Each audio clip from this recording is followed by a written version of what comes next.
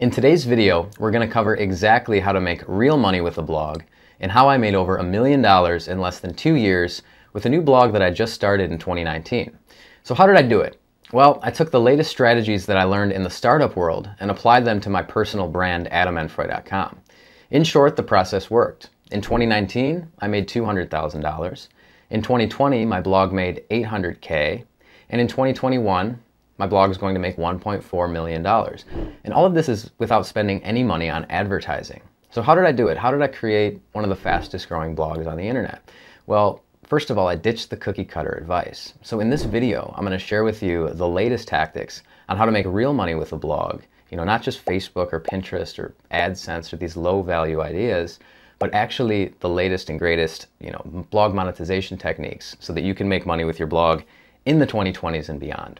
But before we get started, I want to invite you to watch my free masterclass on how to start a profitable blogging business, even if you're brand new or have tried and failed before.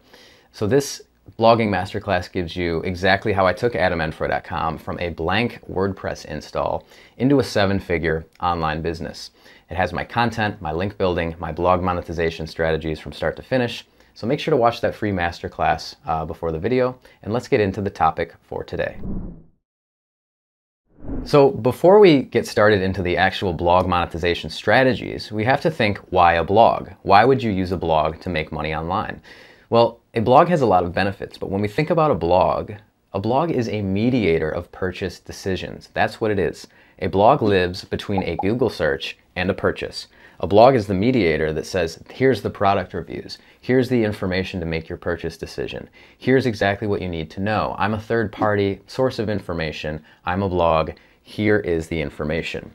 Now to make money with a blog, how does that actually work? You know, there's all kinds of different things. There's affiliate marketing, there's ads, there's online courses, there's digital products, sponsorships, CPC deals, all of these different ways to monetize a blog. So how do we start? How do we frame this? How do we even think about this in the first place? First we have to realize that to make money with a blog, a purchase typically has to be made somewhere. For example, I could write an article on how to tie my shoes. You loop it, you loop it back. Maybe there's even a little video on the blog post. But how would that make money? No one's going to be buying shoelaces or shoes from that. They're just looking for information. That's why you see a lot of food recipe blogs, you know, best chicken soup recipe. It takes them five years to get to the actual recipe because they're making money with ads. So they're putting ads in every spot because if you're searching for a recipe, you're not going to necessarily buy that blogger's book right away. You're just kind of looking for the recipe and to leave. That's how information searching works. So a lot of the time somebody might find your blog, click an affiliate link, make a purchase, and never come back. And that's totally okay because a blog is a mediator of these purchases. And a blog is one of the best ways to make money online because you can outsource it. You don't have to be on video like every YouTube channel or podcast or Instagram post. You can make progress while you sleep. You can out, you can hire people to help you. And you know, blogging is not going anywhere making money with blogs is, you know, people are making more money now than they ever have before. Google search is only getting more and more higher. So right now is a great time to make money with a blog, but we first have to kind of frame and understand how it actually works. So how does blog monetization actually works? Well, first we have to acquire traffic to our blog. We can't just, you know, make money magically. So first we have to acquire traffic. So we have to think about what we're going to write. We have to create a content strategy of some kind, and we have to choose a niche that we want to write in. So that's the first step. So instead of thinking about all these different monetization strategies, let's first talk about acquiring traffic and how do we acquire that traffic and what we actually write about. First of all, your blog monetization strategy should begin with affiliate marketing as the monetization path. There's a couple of reasons for this. One, it dictates your content strategy and, you know, kind of controls the articles that you actually start writing. There's a reason that we're not starting with an online course, for example, because we don't have an audience yet. Who are we going to sell it to? This whole thing is a numbers game and growing your blog. So first is growing traffic, which is content. So when we think about content, the good news is to make money blogging, there's really only one to two types of articles that you ever need to write. So let's look at some examples. I just uh, Googled uh, a few things in different niches that I'll show you. So one is best touchless kitchen faucet. Here's a mediator of purchase decisions. I'm searching for the best product what do I find? I found this very low authority niche site called sinkandfaucet.net, and there they have an article on the 10 best touchless kitchen faucets compared. Now this is an affiliate article because as we see, uh, there's a product listing and then these are all affiliate links. So we go to this one, we see it's an, uh, an Amazon affiliate link. We go to this one, it's another Amazon affiliate link. And this one is being monetized via affiliate marketing. So it's acquiring traffic from Google to a product search post and providing the best information. Let's look at another example. Let's say you're an outdoor person and you want to buy a new barbecue. Well, smokers are a big thing and you know grills things like that so i searched best electric smoker it's another product driven search. What do i find? Lots of different blogs. Barbecue report is one. Barbecue report is a you know pretty you know smaller website and they are ranking for the best electric smokers. And they have an article here same concept with affiliate links. They even have a little prime symbol to show you that it's um, on amazon prime and it goes to an amazon affiliate link.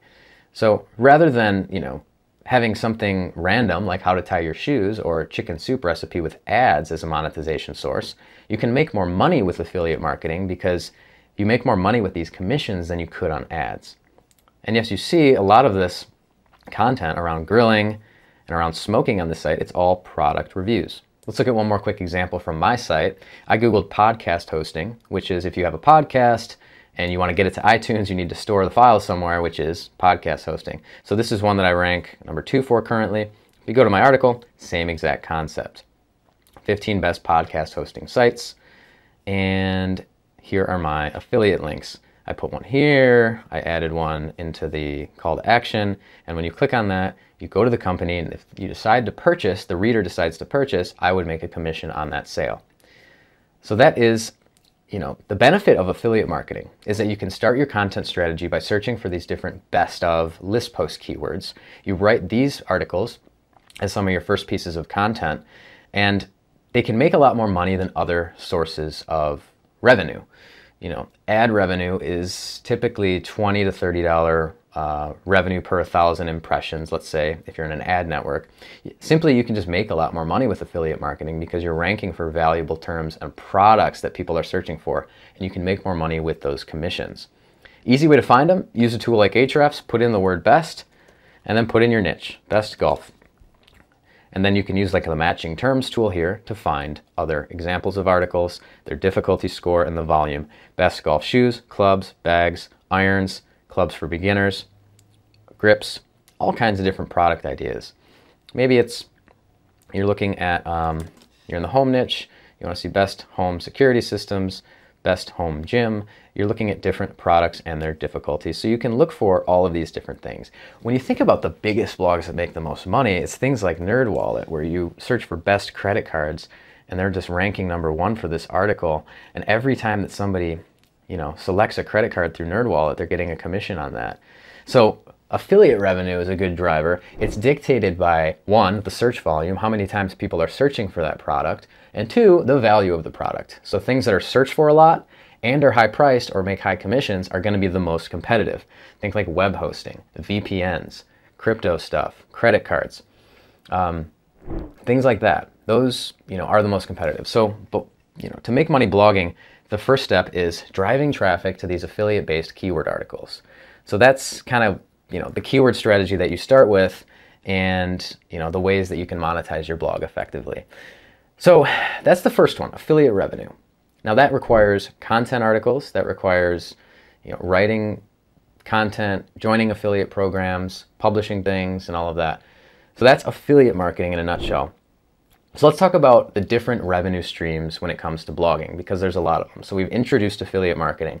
That's the bread and butter of blog monetization. That's how the big sites make the most of their money. So I make over uh, $80,000 a month with affiliate marketing. I'm in over 300 affiliate programs. So I've joined a ton of them. I've seen all kinds of different commissions and companies and conversion rates and uh, all kinds of different things. But that is the driver of affiliate marketing. So if you want to join a program, let's say you want to join web hosting or something like that, you search best web hosting and we look for articles um, on this topic. We can see, you know, the number one result is monetized with affiliate marketing. They have links here. So we say, all right, they have DreamHost, they have GoDaddy, GreenGeek, SiteGround. Um, okay, that's good. Let's look at another one. They're talking about these different products, Bluehost, HostGator. So then I would just Google Bluehost affiliate program if you want to join it. You just basically write the article on web hosting. Now, I don't recommend this niche because it's super competitive, but you can join it. You'd say the web hosting affiliate program, and then you just join affiliate affiliate programs individually based on the company that you want to promote. So each company has their own affiliate program. They might be in an affiliate network like Impact or CJ or ShareASale where you log in and can find the company and apply there, or they have their own uh, dashboard. Bluehost has their own dashboard, so you would click sign up, you would join the affiliate team, you put in your information. You don't really need a company yet. Um, you can just put your name or something, your PayPal email address so you can get paid, and then you click sign up. And that's really it. And then they'll manually approve you. Then they, you can grab your link, paste it in when you mention the brand. So that's affiliate marketing in a nutshell, which can help control and dictate your initial content strategy. But let's talk about all the ways to make money with a blog. So number one's affiliate. Uh, my blog, adamenfroy.com, makes over $80,000 a month with affiliate. I'm in over 300 programs and it's really the main driver of blog monetization. The big, you know, blogs with hundreds of employees to the small niche sites typically focus on affiliate marketing as the first form of blog monetization. The second one is online courses. So online courses are great because you're selling your own digital product. You're providing and sharing your information with the world and, you know, selling that product directly to your audience. Now, there's a reason we start with affiliate and not online courses because online courses do require some type of audience in order to sell a course. You can't really sell a course to an email list of zero, but you don't need an email list of 10,000 or 20,000 or 50,000. You can start with a small list, but you still need people to actually purchase your course. And this is an entirely different strategy. So as you see, blog monetization requires completely different strategies. Affiliate marketing is content and SEO, basically you're trying to rank on Google for you know product specific search terms. So that requires the disciplines of SEO, how to format and structure blog posts. I have a lot of content on my YouTube channel about that. How to use AI tools to write. I have content about that. How to do link building. I have videos on that as well. But that's its own unique strategy. Affiliate marketing is that. Online courses is also its own unique strategy. So that includes building up your email list and then selling them a product. That's typically how it works. So when I first started my blog, I was it took me a long time to build up an email list and I was really good at affiliate marketing, but I didn't know much about selling online courses. So I ended up hiring an expert to help me and guide me through this process. So now I think, you know, I'm a pretty good expert at selling online courses. What I learned is it's a completely different discipline and something you have to learn separately from affiliate marketing. So online courses, you start I'll kind of give you an example just from my site and walk you through the process for how I did it. We have a lot of different things here. Well, one is if I go to any of my, you know, articles and I try to leave the site, that's where my exit intent pop-up comes. And this is the best way to build your email list. You can put a form on your website, sure, to get people to opt into an email list, but exit intent or even entrance pop-ups, these pop-ups acquire the most, you know, signups. It's simple because you're showing them the, you know, the form right where they are, right in front of their face. They don't need to find it somewhere. So this has uh, how to start a profitable blogging masterclass, all of the masterclass information that you can access and get here, and then that goes into the course sequence. Now, you can see it here. You, I, I, recommend that you go through this process as well just to check it out and view it. It is exactly what you want to see within a blogging course. And I have my blogging content here as well. So all of this stuff that is around blogging and how to start a blog is all very specific to selling the online course.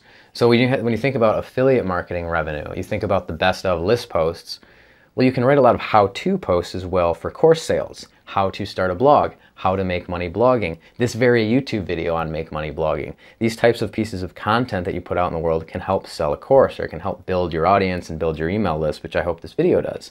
So it's like an entirely different strategy. Now what you want to do is also provide a lead magnet to your email list. So you need to give them something to, you know, if they're going to give you your, their email address, you should either give them a free PDF, a checklist, a free, you know, course, something for free to get them to opt in. Very rarely can you just get them to opt in for free. So you want to provide that and then you build your email list and after you build your list, then you want to, you know, start surveying them to understand what they actually want. That's the key. You're providing information to your audience on what they actually desire. So you want to warm them up with lead magnets, free content, send them stuff over time. You can even, you know, find your best subscribers by providing more exclusive content by having them join, say, a VIP list where it's not just the main email list, but it's the VIP group and sending them content and information. And then after a while, you know, sell and price your online course based on the survey results, based on what you expect, you know, your readers want, based on the size of your email list and the price point that you think they'll go after. And then it's a matter of, okay, I'm going to launch my course. I'm going to send out these emails, send them in like a week sequence. There's a whole strategy behind that. But there's, again, there's a reason that we don't do this first. It's because it takes a lot of time. It takes a lot of effort to shoot an online course. And it doesn't make sense when you don't have an audience yet. So for me, I shot my online course when I was about two years into my blog. Uh, started with affiliate revenue first and then went into online courses after two years. Uh, let's talk about another form of blog monetization, which is ad revenue. So what I consider, you know, ad revenue is almost like the last resort of blog monetization. Like we discussed, uh, if you're a recipe blog, you're mainly going to make money via ads because people aren't going to search or buy anything necessarily from that article.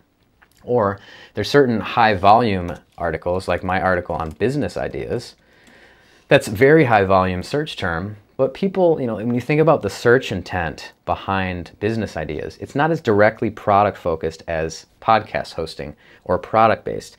So, however, blogs need to make money via these articles too. They're a way to acquire a lot of traffic, like ideas type posts or how to posts. And you can add ads to your blog. So, what I did here is I have ads. You can see there's one on the bottom, there's one on the side here, there's some throughout the content.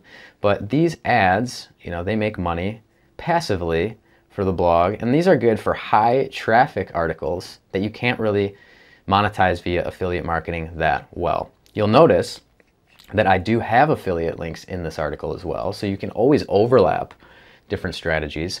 However, you know, search intent driven purchases are best for affiliate, best of list posts, and then the more broader searches around ideas, you know, kitchen ideas, living room ideas, business ideas, or how to, how to start a business, how to start a blog. A lot of these things get a lot of search volume, but people aren't necessarily ready to buy via an affiliate link yet. These are great to build your email list. These are great for ad revenue. All of these tactics kind of go together and overlap a little bit, but you'll see that there's ads on this um, article. Here's a Peloton ad. Uh, and I have ads on a lot of my articles that aren't the most, you know, affiliate driven ones. So what I recommend there is, you know, I make $12,000 a month with ads, uh, typically each month based on my traffic. And if you can get your traffic to 25,000 visitors a month, that's a good starting point. Then you can start joining ad networks like Ezoic, AdThrive, or Mediavine instead of AdSense. I remember when I first started my blog, I joined AdSense and I was making like two to three dollars a day. I simply tried to join too early. I wasn't getting much traffic yet. So again, ads make you money when you are getting a lot of traffic. It doesn't make sense to try, you know, adding ads to your site when you have just a few hundred visitors a month. You're just not going to make the money. When we think about real blog monetization, we want to catch the $100 bills, not the $1 bills. So that's there's a complete, you know, different strategies behind that. So we've covered affiliate marketing, We've covered online courses. We've covered ads. Let's talk about another one. So the one that I'm just learning about is CPC or cost per click, or what I like to call sponsored placements. So this is a strategy that big media sites use, like PCMag or TechRadar, or these other big sites that review a lot of content. So when we look at like PCMag.com and we look at some of their software, let's go to just like VPN.